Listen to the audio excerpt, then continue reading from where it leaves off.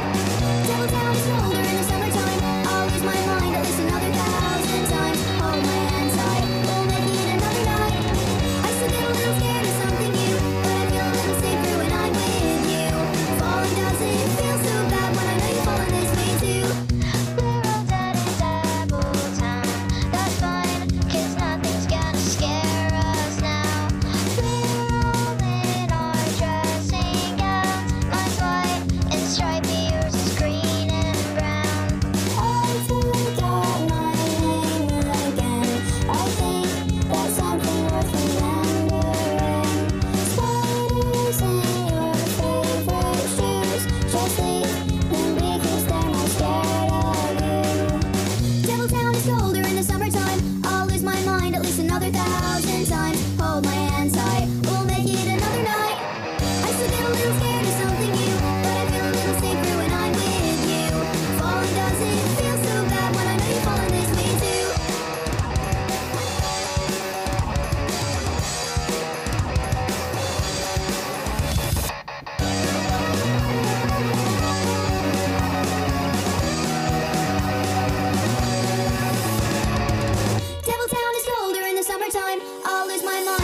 another thousand.